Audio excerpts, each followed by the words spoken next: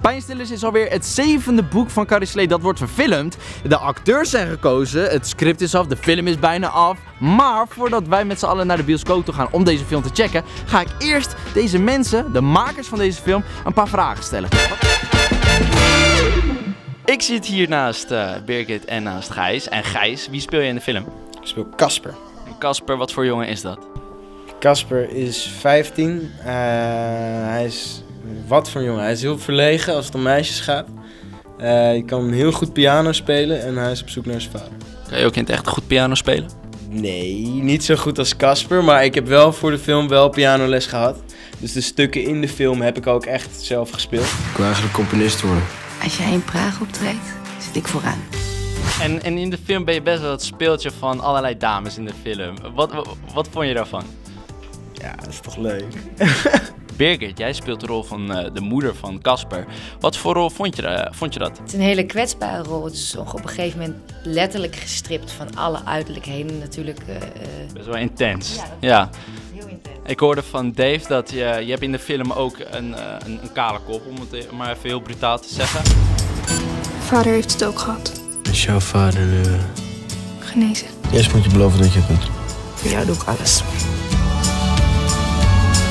je hebt je hoofd niet echt kaal laten scheren. Hoe is dat gegaan? Tessa en ik hadden het erover gehad van uh, hoe ver gaat het uh, in het ziekteproces van, uh, van Marit. En toen hebben we uiteindelijk besloten om daar voor de laatste stadium, of in ieder geval van, van, ja, van het, het meest vergevorderde stadium van de ziekte, helemaal kaal te gaan. Daar hebben we dan Rob uh, van Rob's Propshop voor gevraagd. En die heeft dan 2,5 uur telkens aan me gezeten met een kaalkop helemaal tot hier. ja, op de meest bizarre manier. Ik dacht serieus echt dat je eerst wel kaal was. Ik dacht eerst dacht ik van, okay, is het misschien toch een, een, een soort uh, zwem... Uh, nee, wat die zwemmers altijd op hebben. Ja, precies, en met zo'n verfkleurje eroverheen of zo. Maar het is dus gewoon echt tot hier onder je, onder je ogen hebben ze het gedaan. Het is meerdere lagen dus over elkaar heen. En dan hebben ze uh, een keer heb ik met mijn hoofd helemaal in het gips gezeten met alleen mijn neusgaten eruit. Dat was het minst gave gedeelte van de voorbereiding. Ja, en helpt dat nou tijdens het spelen? Ongelooflijk veel. De eerste keer dat hij mij zag, ik had mijn ogen dicht, omdat anders zou het aan elkaar plakken. Dan moest ik nog en ik hoorde wel gewoon ademstokken, voeten en een deur dicht. Zei is Gijs er nog? Zij is net eens eventjes naar buiten gegaan, want hij had het een beetje moeilijk. Jullie eerste ervaring met Tessa Schram als regisseuse, hoe was dat? Heerlijk. Ja, ja, toch. Ja, toch. Ja, zegt hij. Nee, dat was echt geweldig. Dit is wat ik van je moeder heb. Ons verhaal. Zo diep zoals jij op alle shit van de wereld ingaat, zo oppervlakkig ben je in tech. Je moet zelf weten wat je doet, Casper. Daar heb ik niks over te zeggen. Tegenover mij zitten de scenariste en de regisseuse. En dit is... Tessa Schram, de regisseur. En Maria Peters en ik heb samen met haar het scenario geschreven. De vorige films die zijn geregisseerd door Dave. Uh, en is het nu ook zo dat het stokje helemaal is overgedragen? Of denk je dat Dave ook nog een keertje aan de bak gaat? Ik weet wel zeker dat Dave ook nog een keertje aan de bak gaat.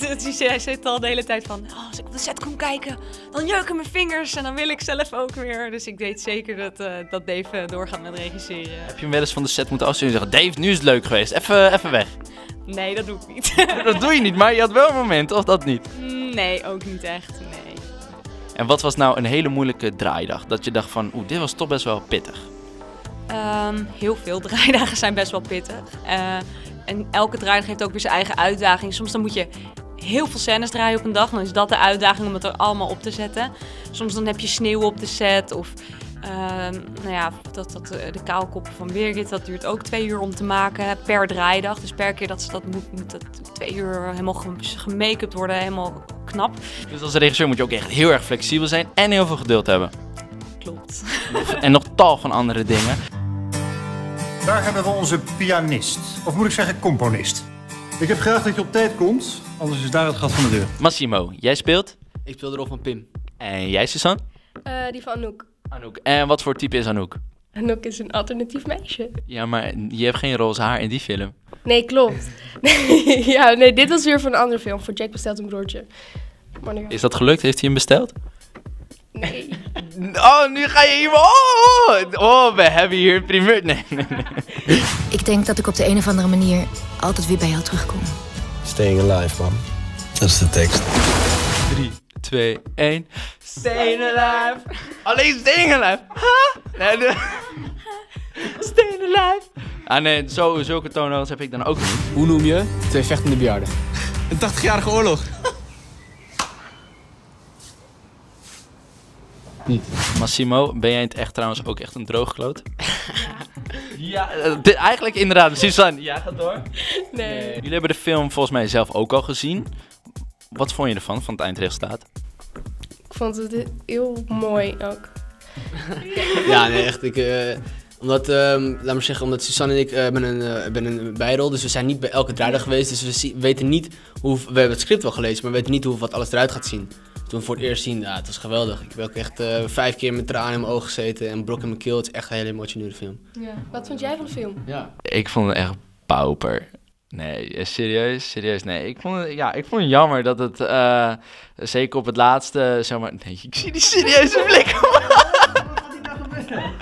Ik heb de vraag gesteld, ik heb de antwoorden gekregen en jij dus ook. Dus geef een dikke duim omhoog voor deze video als je heel erg benieuwd bent naar de film Pijnstillers. En zet in de reacties neer wie jij nou het allerleukste vindt. Is dat bijvoorbeeld de regisseur Tessa Schram of is dat een acteur of een actrice? Laat het me weten in de reacties.